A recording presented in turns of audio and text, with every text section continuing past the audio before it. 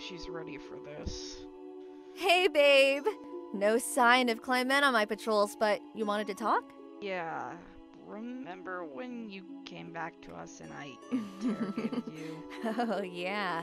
We had sex, wrapped tentacles, and then you unbrainwashed Yes, me. Uh, about that. I was on my heat cycle and I was doing some research and Oh, well, if you're still in heat, let's get busy. no Bondi. Listen, we wrapped tentacles, we traded DNA and ink, resulting More in sexy times? no Bondi. I'm pregnant. Oh, Yes, I'm pregnant. I'm sorry you have to find out like this, but it's been three weeks already, and I didn't know how to tell you this. no, no, no. Telling me was the first step, and I'm so happy to hear this great news. Thank you, Oceana. You're welcome, Bondi.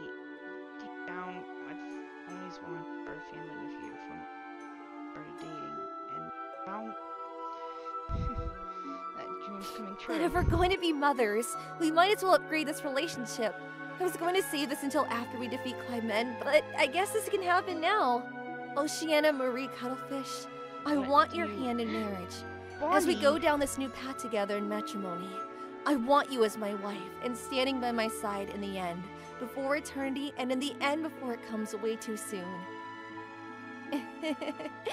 not with the doomsday talk, but I'm not the best with stuff since, you know, mom's trying to destroy the world. Yes, I will marry you, Bondi to eternity. Today's a good day, isn't it? yes, yes it is. Oh my god! Did she say yes? Yes! Fantastico!